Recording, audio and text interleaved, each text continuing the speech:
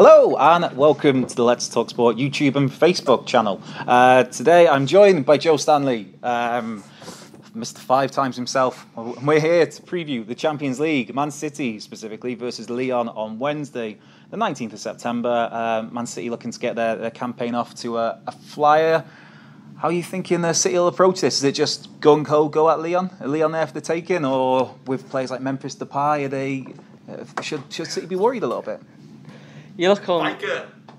Yeah, yeah, and, and Fekir, yeah, and obviously Fekir, who so nearly went to Liverpool before, he, he filmed a, a video signing for Liverpool, uh, discussing how much he loved Liverpool, and Liverpool just went, "Nah, mate, we think your knee's a bit dodgy." So is he going to come back to haunt you? Thanks for that one, Connor. Yeah. Missed Colin Porter, ladies and gentlemen, off camera. Hello. Now on camera. Now on Right. camera. Yeah, what I was going to say is on paper it looks all like Manchester City victory. Mm-hmm. Um, but since you've asked me the questions about Depay and Fekir, um, we'll have a look at them. I think both quality players. You saw Fekir's free kick at the weekend. Mm. Uh, I can't remember who they were playing now.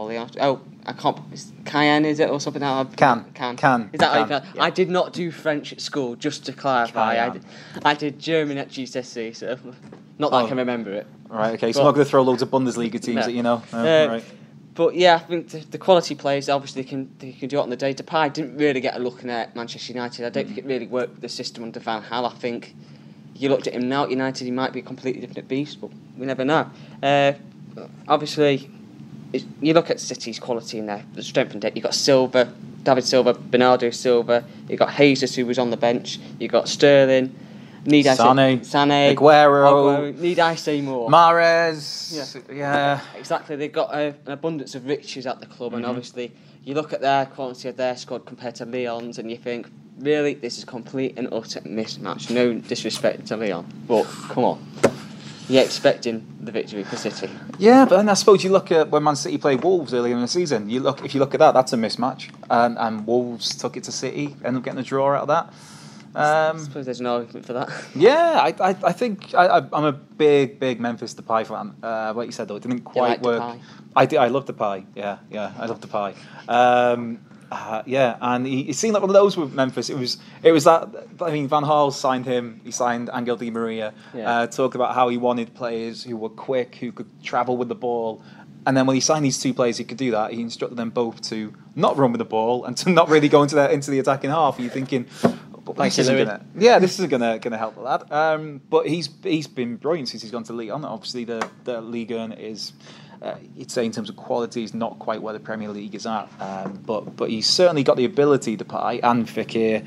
Um, and I, yeah, I, I remember Lyon uh, of, of well over a decade ago just being always one of the, the great teams to watch when they had Juninho Pernambucano pulling the strings in the middle of the park. It's just a brilliant player. His free kicks. Mm, exactly. Uh, I, I don't know. I think I think Lyon will probably set up to try and catch City on the break. Maybe a set play. Again, Memphis is is very good at free kicks. Scored a, a few since he's been over with uh, with Lyon.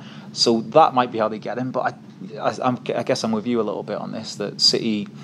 On paper, you think that. I mean, what, what sort of City team do you expect to? Because for, for Pep Guardiola, because he tends to rotate a lot, and this season, mean, he's. I'm surprised he's kept Aguero in the team every game, which my fantasy football team is very happy with that. But but that other than that, there's pretty much the rest of the squad has been rotated. John Stones has been in and out. Laporte has been in and out. Bernard Mendy didn't play the weekend, even though he's he's been on fire. What sort of team do you think City uh, or Pep will put together? Well, I think you can afford, you Pep can afford to make some changes to this game because obviously there's an argument that Lyon aren't as strong as, well, obviously they're stronger than Fulham at the weekend, but I'm trying to think who City are playing it this weekend in the league. You, can say that the league is priority for City in, in one aspect, trying to defend the title. I know they he's been put the task of trying to win the Champions League, but obviously he should be allowed more time with that because City have never done it. So obviously there's, there's the argument there. Maybe that some people might say, "Hey, that doesn't make sense," but what I'm saying is they've had so many managers that have tried and failed since 2008. You know, Sheikh Mansour mm-hmm. takeover. Obviously, they didn't get in the Champions League till late, later on, a couple of years later.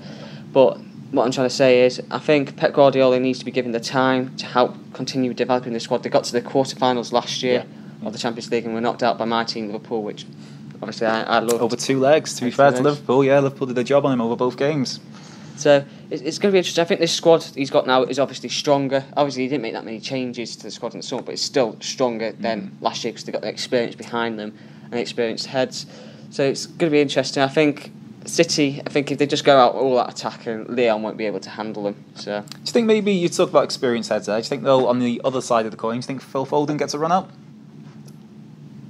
I think he, I think he should. Mm. Uh, because Pep, Pep told at the weekend that he was he, he felt bad for not giving him more game time. Is this is this the perfect chance to to especially if you, you're going to rest maybe I don't know David Silva say and you just say to the young lad here what 18 years old go and have a go see what you can do like he did in the, in the Community Shield and he and he played very well. I think there's a good shout though. I think he's more likely to come off the bench than start. Uh, I think I'd like to see Phil Foden. I keep on nearly saying Ben Foden. It's Phil Foden. Different Uh, sport. Yeah, completely different sport. Um, unless you, you know if it's Ben Foden compared to Phil Foden on the pitch, could be rugby tackling everyone yeah, getting sent off. They But look uh, a little bit different. a little bit different. Back back to Phil Foden. I think it'd be interesting because everyone's saying about him, they're saying what a talent he is, and saying, oh, he's one for the future for England. You haven't really seen much of him. Like I said, I watched the Community Shield and he was fantastic in that game. Mm-hmm. I think if we're looking at him being part of the City team of the future and the England teams of the future, Pep Guardiola needs to play him and give him experience in these type of games. He needs to play in the Champions League games against the lesser opposition. Again, no offence to Lyon. Against the likes of Fulham at the weekend, maybe he should have started that sort of game because mm-hmm. give him game time and see. Let's see how he can develop and let's see how he can play in these games. And I think it'd be fantastic to see him play come Wednesday night. Yeah, yeah, I, I think it's a it's a perfect game to at least have him involved in some form. I, I mean, for me, I'd just say throw him in, and especially because the, the, the players around him are all going to be experienced heads anyway, so he should they should help him along. So I, I'd say to give him a start, but even if you don't do that, at least give him half an hour or, or a half if, if you, you're doing all right at half time. But do you think um, before we get, get to predictions, do you think that if uh, you kind of touched on it then, if Pep doesn't win the Champions League or they don't get to say the semi-finals, is that almost failure? Especially knowing how neurotic Pep is about, about winning, which is never a bad habit. Oh, that's a difficult question to answer. Third really. season now, third season there. He's just won the league. He's got arguably the, the greatest squad ever assembled in British football. He's got arguably the best squad assembled in European football currently. Is is it is it if, if anything less than the semi-finals is that a failure? And should he be judged on on going all the way really?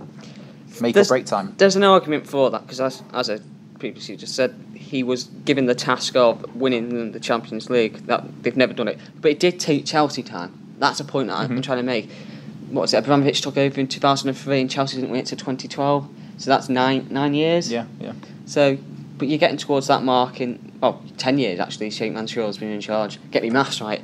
Um, so yeah, you're, you're around that time. You're looking at it and you're thinking, yeah, maybe this is the time for Man City if they're looking at the Chelsea model of things for them to win the Champions League. They got, like you said, one of the best squads in Europe. They should be going far in the competition. Whether Pep can get the team to do that is another thing. It remains to be seen.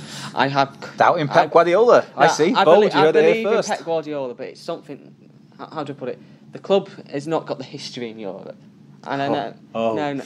Look, like Here we go. Here's the Liverpool fan coming out. It's all You about history. you, you, you, you look at it. You look at the clubs. You look at Forest have won two European Cups. They had a good history in the competition. He's just saying that to get on your good side. Colin Porter, Porter off, off camera is is a Nottingham Forest Ast- fan. Aston Villa won it. Yeah. Everton had, had played in the European So, Cup. but by that logic, then does that mean if Aston Villa somehow are in the Champions League in two years, then they should be one of the favourites because no, they've got no, previous? no, I'm just saying. it doesn't. They've had, they've played, they've won the competition. You look at Arsenal; they played it for years, but they never won it. It's one of those things. You've got you to can start expect, somewhere, though. You You've can got to start expect somewhere. clubs to win it, but whether they've got it in them to win it is another thing. Whether it's ingrained in their DNA. I, I think it's hard to talk about ingrained in DNA when it's different sets of players. Just because Liverpool won it in uh, what the 80s and 90s, won it last time in Istanbul, they're not the same players who are here now. They haven't got that mentality. It's not the same manager. So I, I think with the, the, the you look at the players that Pep Guardiola's got, he's got players that have that winning mentality, whether it's international level, whether it's club level, whether it's it's even in terms of uh, European success. There's he's got the right mentality players there, and he himself is he. He talked about pedigree. Pep Guardiola himself has won it what three times? Is it twice Yeah. with with Barcelona? So I, I don't know on that one, but. Bottom to the crux of it, bottom line is we need a score. What, what's the predictions going to be first and foremost? Well, well, the poten- potential's there. Bottom Yeah. line, before I get the score, potential potential's there.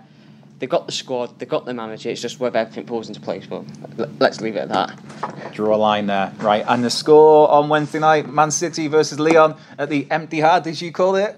And I think we'd Oh. all agree. I'm going to go 4 0 to Manchester City. Right, okay. Uh, I'm I'm going 2 0 City. 2 0 City. No, no, false to that. I'm going to go 3 1 at Manchester City. Memphis Depay is going to score in his return to Manchester. Uh, and that's about it. Let us know what you think, though. Uh, like, subscribe, all of that jazz, comments and, and things. Tell us what you think. If you agree with me, if you agree with Joe, if you think we're both talking a little bit toss. Either way, we'll, uh, we'll catch you next time on Let's Talk Sport.